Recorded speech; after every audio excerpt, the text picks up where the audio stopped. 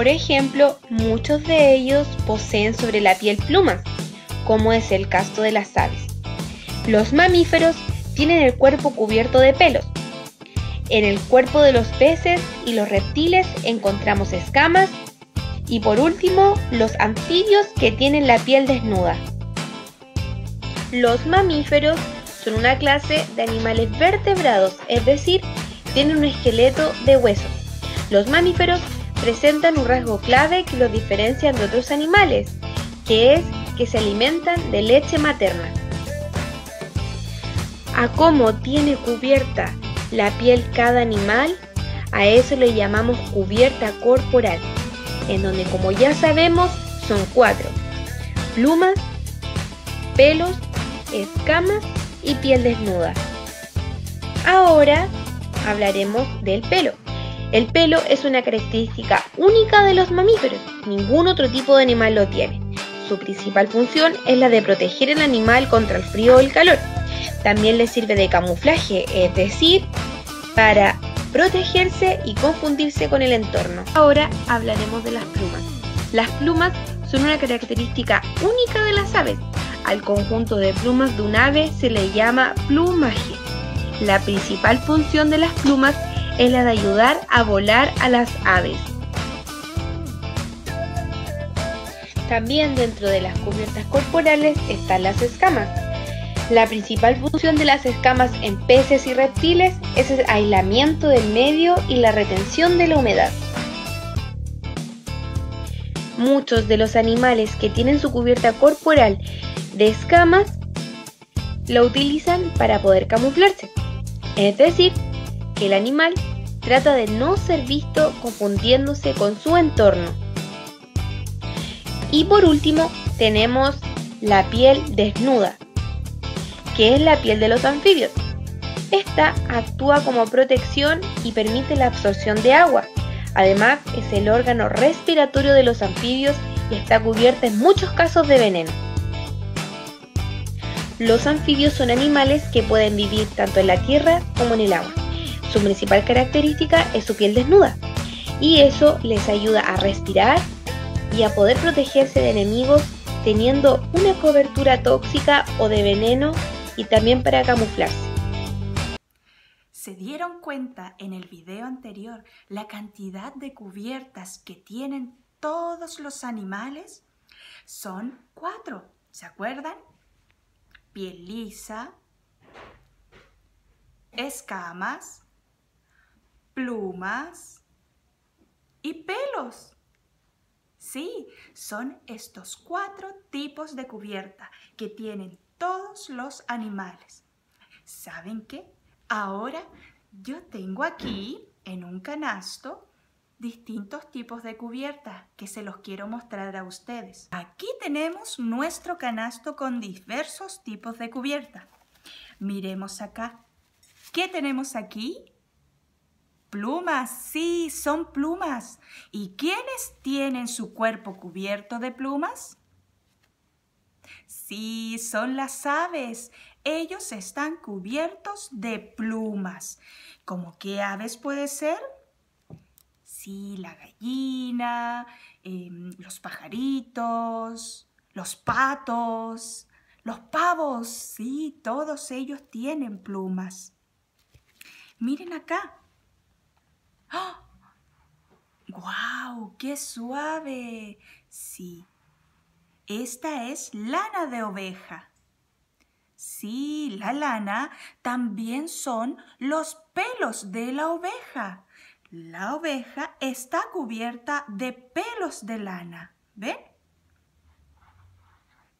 Sí, es genial, muy suave. Luego acá tenemos otra cubierta que igual es de pelos, como los pelos de una vaca. Sí, es muy parecido a los pelos. Miren, aquí. Sí, son pelos muy delgados y pequeños. ¿Ven? Y por acá tenemos piel lisa. Sí, un ejemplo de piel lisa. ¿Ven? ¿Quiénes tenían piel lisa?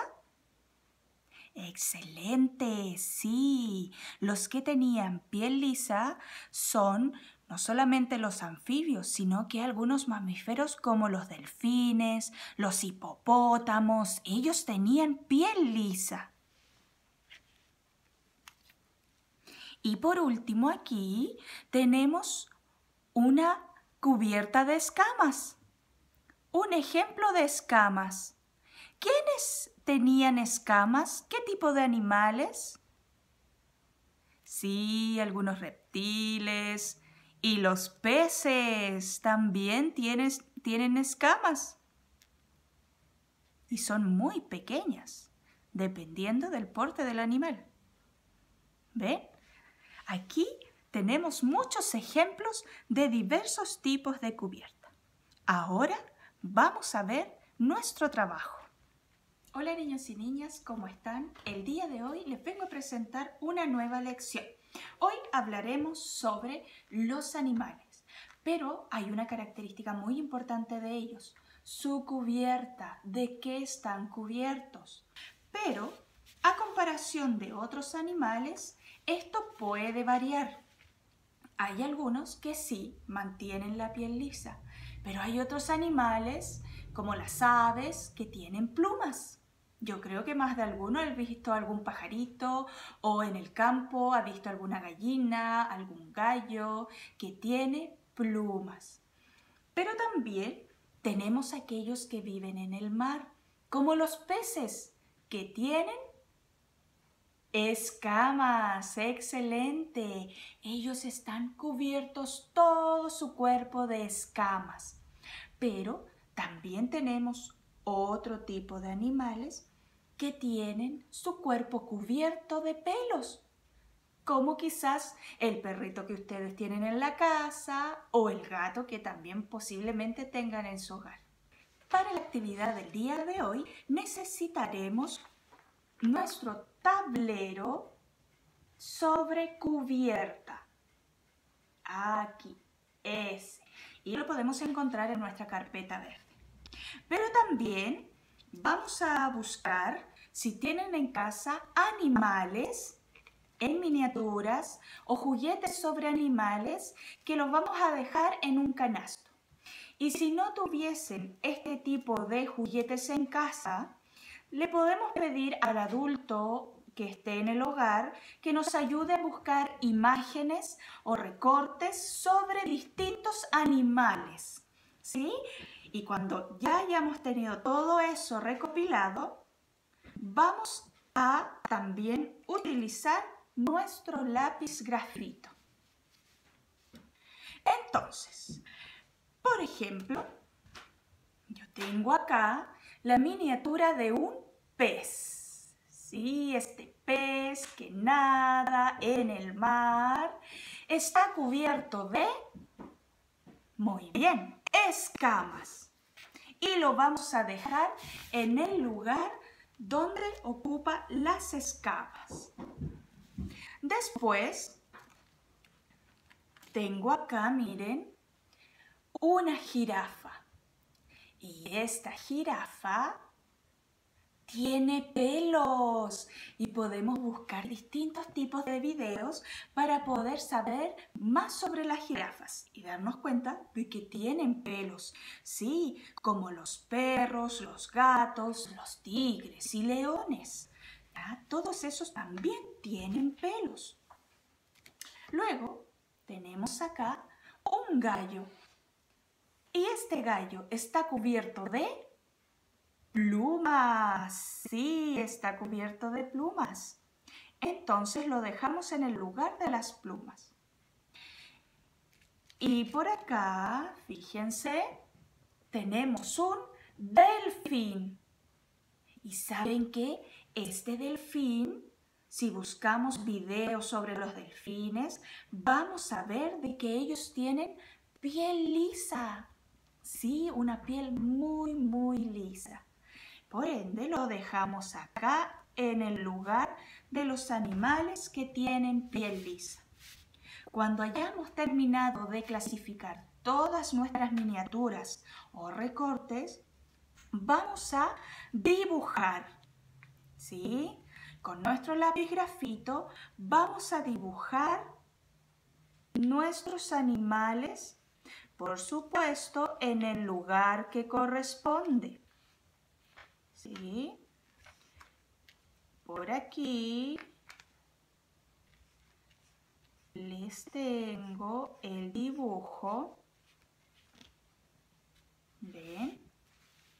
Por ejemplo, dibujé el pez y el pez está cubierto de escamas. Cuando hayamos dibujado todos nuestros animales que tenemos en nuestra mesa, lo coloreamos. No se olviden de colorear, que quede muy, muy lindo nuestro dibujo. Y vamos a pintarlo de muchos colores, de los colores que ustedes quieran. No hay un color específico para todas las cosas. Ustedes deciden el color que quieren utilizar. Y así terminamos de colorear todos nuestros dibujos. Cuando hayan terminado, por favor, guarden su trabajo en la carpeta verde.